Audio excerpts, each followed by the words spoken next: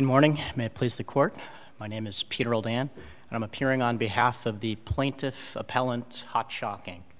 Uh, the reason I'm here is to urge the court to reverse the district court's ruling in this case, which, if it stands, uh, means that any company that's in the business of providing professional services to its clients uh, will essentially find that uh, their D&O coverage uh, is obliterated or eviscerated. But not their malpractice coverage. Uh, no, well, no, actually, well, that's a different policy, Your Honor. That's right. But I'm interested, uh, Mr. Roldan, in the um, concession that uh, made that it rendered professional services at ER 220, footnote uh, 5. Um, uh, you if you concede that what Hot Chalk was doing was providing professional services, why is not the end of the case?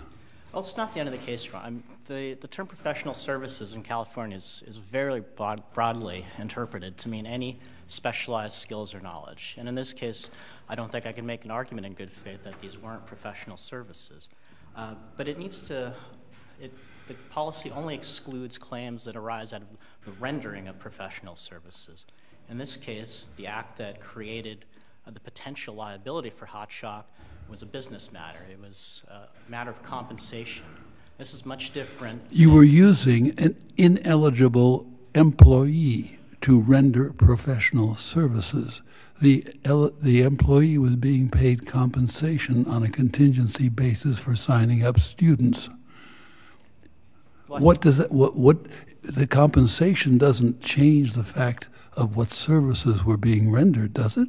No, the, the services were the services, but I, I, my position here and the position of my client is that the act of compensating that employee, it's one step removed from actually rendering services to a client.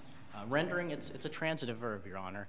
It, mean, it implies that, or means that somebody is providing something to someone. In this case, compensation uh, was not being provided. One step removed, is that too far removed for the phrase arising under?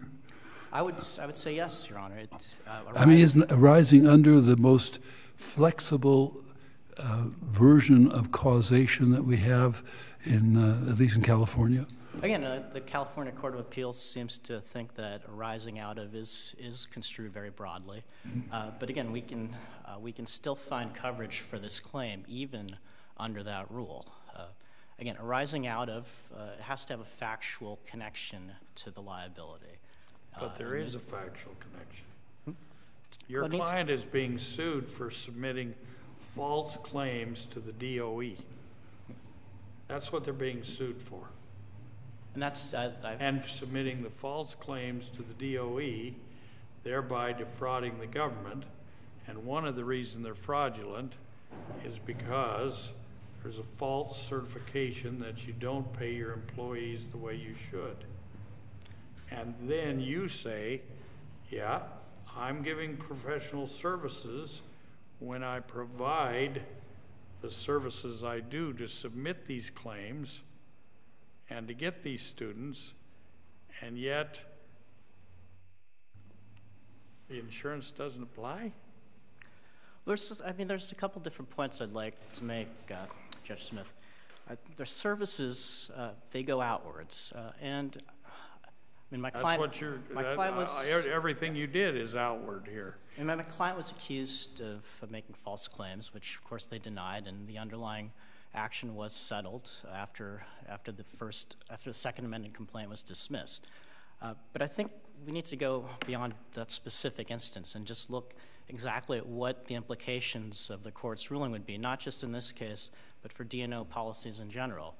Uh, the court, uh, the district court, essentially applied a, a but-for causation standard. It found that uh, absent Hot professional services, there would have been no liability. And if you were to take that to its logical conclusion, any company that provides some type of professional services is going to find that the, anything that they're potentially found liable for arises out of those professional services, whether it's the outward facing services or whether it's their internal management uh, activity. Well, but it seems to me that if in fact the activity they undertake is undertaken in providing the professional services, that that's the very type of activity, if you will, which ought not get coverage under this policy. Well, the question is, where do you draw the line? Well, I draw the line, especially when we're saying arising out of or arising from very widely, as did the district court. We, we got the words. We, we can't get around what California says about what the words say. And, and then I say, okay, you concede you provided services, including recruitment services, the universities, that this service was professional service, that these professional services, they're the ones that violated the law and injured the students and the government. I, I guess I'm trying to figure out how it doesn't rely or how the policy can apply. Let's think if, I mean, if- again, if, if we were to take the court's ruling uh, to its logical conclusion, almost nothing would be covered under the policy, and that, that can't be the right I conclusion. think that, I think that, I mean, first of all, there's no question that you got a good settlement with your employee practices liability insurer. They looked at what was going on here and they said, yeah, we better do something about this. Now, what happened is now you turn and you say, now I don't want this to be professional services. You're the one that conceded it was. Well, Your Honor, uh, going back to your point about the empl- uh, EPL policy, there was a claim for retaliation, which I believe did trigger the duty to defend. So that wasn't triggered by the compensation practices. Again, that's, this is a business decision, a management decision. Uh, Any kind of management decision. These are the types of claims that are meant to be covered under the Side C coverage, which is very broad coverage, provides uh, coverage for any wrongful acts that the company itself is alleged to have uh, uh, entered into. And again, the, the point of Side C is to cover these very broad claims. Let me ask you a question. I looked at acceptance insurance versus Syufy mm-hmm. Enterprises, and I looked at all of the cases that they list there in that case that suggest that they're arising out of or arising from are embodied in those cases. I'm having a tough time understanding why this district court's broad interpretation of this language is any different from those cases. Let's Now, I know you pick some out-of-circuit cases, but these are right in California, right under acceptance insurance. So I'm saying, what part of those cases does not say how I should deal with this policy? Well, I'd, I would submit to the court that none of these cases actually involve these more ancillary activities. Almost every case in which the professional services exclusion was applied involved outward-facing services that were provided to an insured's client, not inward-facing management decisions. Uh, So what you're saying is, because we did all these things in management to provide the services, then therefore the services exclusion should not apply? Yep, the services exclusion is meant to, it's meant to cover claims arising out of uh, the, the services provided to, to clients. Uh, If a client were to sue because it was not, This is the very thing you were doing. well, this is compensation, Your Honor. This, I mean, it would be like saying. But your employees aren't, aren't suing you for uh, improperly compensating them. No, them. it's, I mean, it's basically, we're. the There's nothing wrong with your compensation plan, except that it violates your obligations um, in the kind of recruitment you were doing. Well, every company is, is, is obligated to follow the law. Uh, This is the case in Philadelphia Indemnity versus FMLS, where they were uh, alleged to have violated the Real Estate Settlement Procedures Act, uh, another federal uh, regulation, uh, because they were giving undisclosed kickbacks. In that case, those kickbacks weren't related to the services being provided, which was a real estate listing services, even though they did serve to uh, essentially dis, uh, what's that, obscure the price competition, uh, which was the purpose of, of RESPA, uh, it, the court found that that did not implicate that company's professional services. Do I understand you to be saying that the, that the, the only exclusion would be if the universities were to sue you for providing professional services that were in violation of the federal rules. That'd be, that'd certainly be one claim that would be excluded. But would- take a look at the, the arising under language. It isn't only arising under.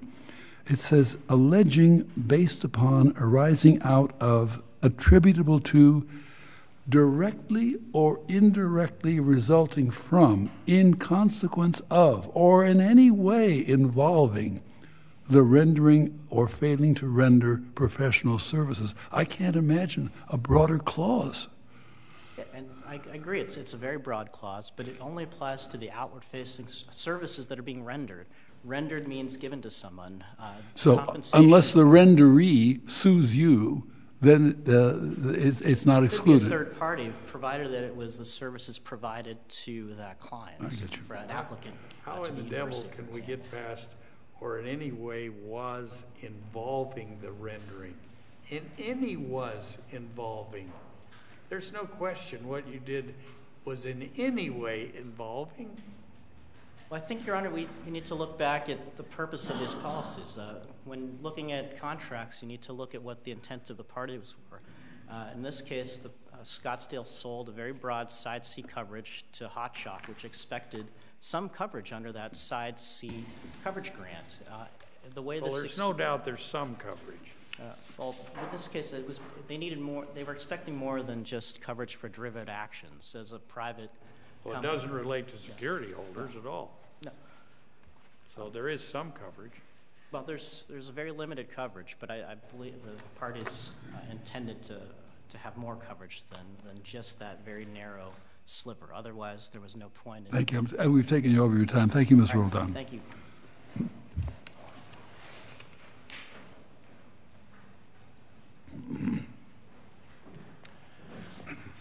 Uh, Good morning, Your Honors. Uh, If it please the court, uh, Alexis Rogoski for the defendant appellee, Scottsdale Insurance Company.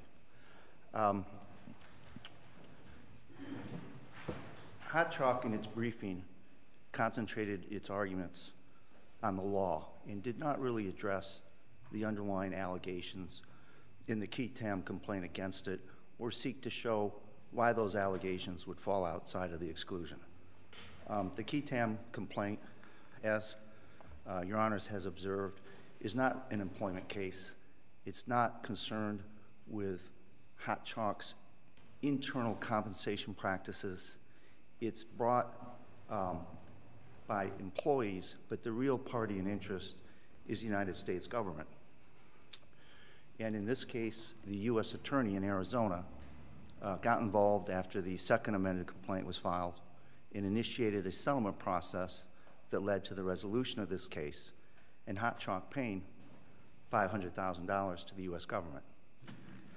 So this case is about Hot Chalk's um, enrollment services and about its certifications uh, to the government that students are eligible fi- for financial aid, and a claim brought on behalf of the government, though not by the government, that those certifications were false. There's a sample agreement that was attached to the qui tam complaint. It's at um, page 112 of the record.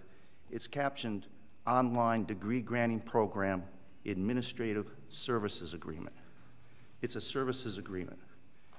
And the exhibit to that agreement describes Hot Chalk's enrollment services as well as the other services they provide. But those services include lead generation and recruiting activities, um, administrative efforts reasonably necessary to initiate the application and enrollment processes, uh, aiding potential students in the process Mr. of transcript I think. I think that you're gilding the lily. There's a, uh, there's a uh, admission here that there's rendered professional services. As I see Mr. Roldan's point, he says, yes, they were professional services, but that, they were not causative. The services were not causative of the violation of the law.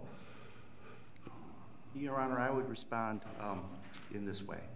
Um, The agreement, and perhaps I did not need to address that point on what it provided with respect to services.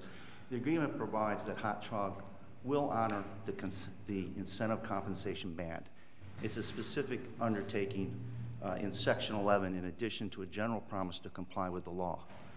And in this case, not only was Hot Chalk sued, but its enrollment, but the, its customer universities were sued. So this had an impact, you know, directly on Hot Chalk's customers and the universities that were um, the recipients of its enrollment services.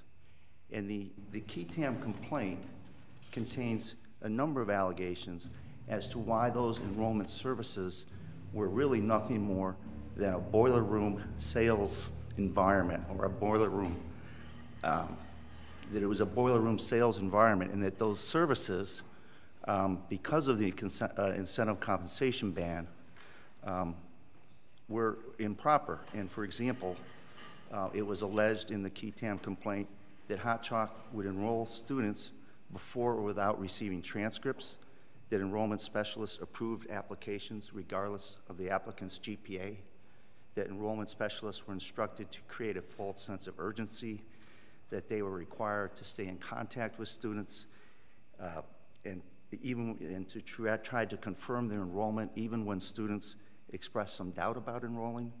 Um, that if a student rejected a financial aid plan, the enrollment specialist should continue to work with the student and try to persuade the student to enroll anyway. Um, and that enrollment specialists were instructed to offer scholarships and to lead, mislead students that this was uh, an offer they had to act on immediately or it would be lost.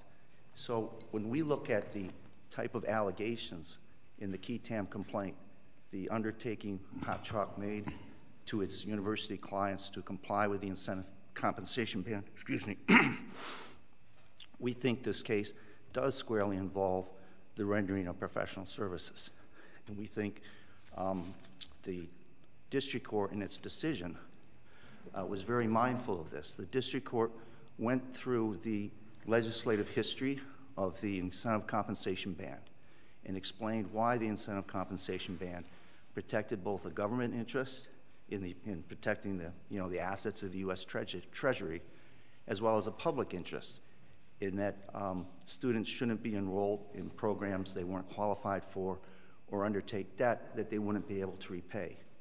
So she viewed the, the complaint as well as Hot Chalk's, well, as well as the allegations concerning Hot Chalk's activities as squarely implicating um, what Mr. Rodan refers to as their outward-facing activities.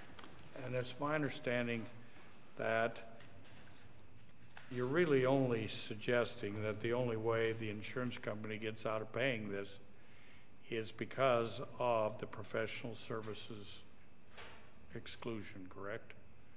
I mean, I didn't see any place in there where you can test that the claims are claims arising out of the error or omissions of the directors or officers. You didn't contest that, did you? Uh, we did not, Your Honor. So if it isn't the professional services exclusion, the company must pay.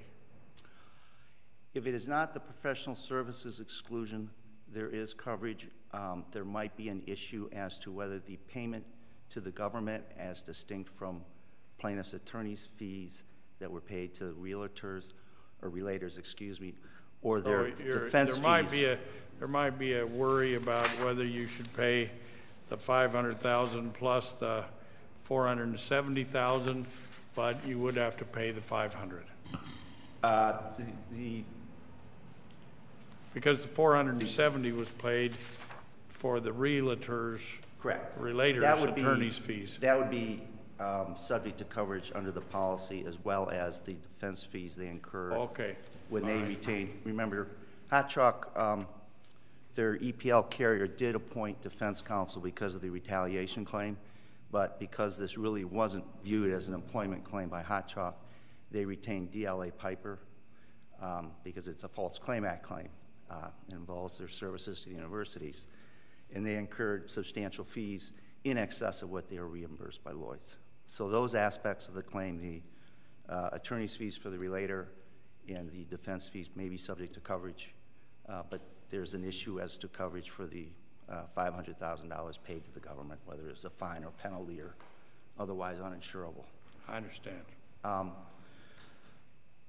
All right, We believe the, the district court, um, in relying on the uh, Medill decision, uh, which is a, um, a decision that arose under a breach of contract exclusion and a D&O policy, uh, acted entirely consistently with Court of Appeals precedent, that um, that case has been cited um, a number of times by different California Court of Appeals decisions, that um, the uh, case we submitted, the energy insurance case, uh, with our Rule 28J letter, uh, which was a 2017 decision handed down after the briefing, reviewed the decisions that have both applied the professional services exclusion or found that on the particular allegations before the court it didn't apply. We believe the uh, trial court's decision, uh, just Judge Wilken's decision, is squarely within uh, those precedents, and for that reason, we would uh, request that your honors should affirm the district court. But we really owe no deference to Judge Wilken, right? Um, That is correct, Your Honor. It's de novo review.